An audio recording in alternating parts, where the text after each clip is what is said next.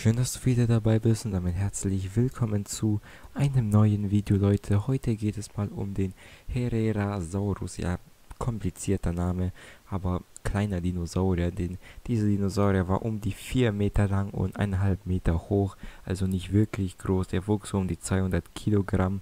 Die Fossilienfundorte sind in Argentinien, also in äh, Südamerika eher.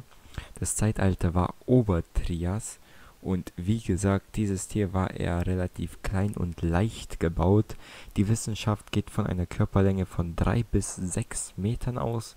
Das Gewicht des Sauriers wird auf ca. 250 Kilogramm geschätzt und auf eine Hüfthöhe von ja, circa eineinhalb Meter würde ich mal sagen, wie vorhin auch gesagt.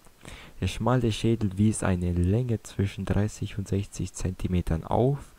Ähm, der Unterkiefer hatte für diese Art eher untypisch ein flexibles Gelenk, welches das Festhalten der Beute sehr, sehr erleichterte. Und beide Kiefer waren mit großen gezackten Zähnen ausgestattet, also ein Top-Räuber für seine Zeit, Trias. Die vorderen Gliedmaßen waren sehr kurz, die Hand dafür verlängert, der Daumen und die ersten Finger waren mit scharfen gekrümmten Krallen bewehrt, die übrigen Finger hingen ja krallenlos. Herrerasaurus lief im Gegensatz zu den meisten Sauriern dieser Periode ausschließlich auf zwei Beinen und die Hinterbeine waren sehr stark gebaut, wahrscheinlich zum Laufen. Die Oberschenkel kurz und der Fuß ja eher lang, was für einen schnellen, ja wie gesagt, Läufer spricht.